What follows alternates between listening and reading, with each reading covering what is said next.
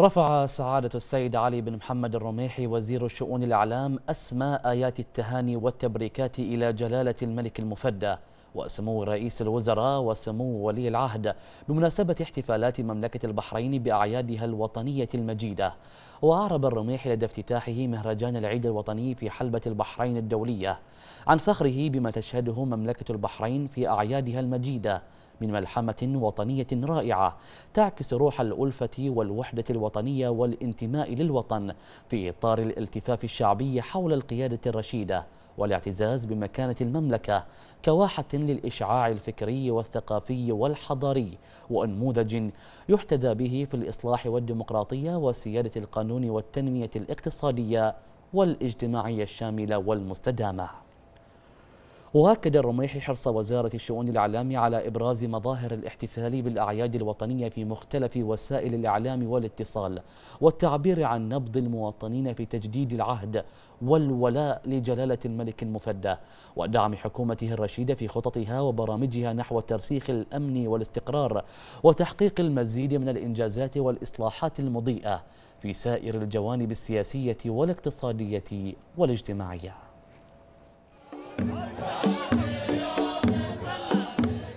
عارضة رددت قصائد لم تخرج عن طابعها التراثي وألحان اتخذت مسارا لتنقل مشاعر الفرح والسرور احتفالا بالعيد الوطني المجيد. ليتسارع كل محب ومخلص لوطنه أن يعبر عن ما يلج في داخله بأسلوبه الخاص وعلى طريقته المثلى بما يتواءم مع حجم ذلك الفرح الذي تكنه الأفئدة.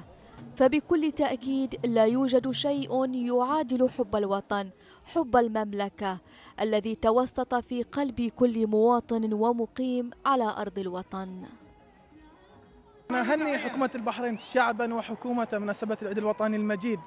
أه وأهني كل شخص احتفل في هاي اليوم المجيد. أه وأنا صراحة أنا أسعدني هالفترة هذه بالذات هاي السنة. فكرة اللي هو تنظيم أكثر من فعالية في أكثر من مكان عشان نقلل من نسبة الزحمة نقلل الحوادث وعشان الناس تتوزع. حابين نهنئ جلالة الملك وسمو رئيس الوزراء ولي عهده أه بمناسبة ذكرى العيد الوطني المجيد. جايين المهرجان هني نحتفل بالعيد وجايبين الأهل معانا وما شاء الله وايد تنظيم حلو. أبارك للقياده الرشيدة بالاحتفال بالعيد الوطني المجيد وأتشرف إن أنا أكون جزء من هالفعاليات. وطبعا يعني الاحتفال في الفورمولا شيء وايد طيب إني نستانس إحنا والربع ويون الأهل هني يستانسون. العادات البحرينية والتحف الفنية التراثية حجزت مكانا لها بين أروقة المهرجان لتؤكد على تراث البحرين وعراقته وأنه يجب الحفاظ عليه ونقله من جيل إلى جيل. أنا من السنين في صناعة الإدلال السيوف الخناجر مرشات. وحرصنا أنني في العيد الوطني. يعني الفعالية. حتى نراوي حق خاصة الأجانب يعني. شلون هاي تراثنا شلون طريقة الدل شلون طريقة الخنجر مثلا يعني. حاليا قاعدين نشارك بمهنة حرفية قديمة في البحرين يعني ممكن تقولين ثلاثة وأربعة آلاف سنة قبل الميلاد.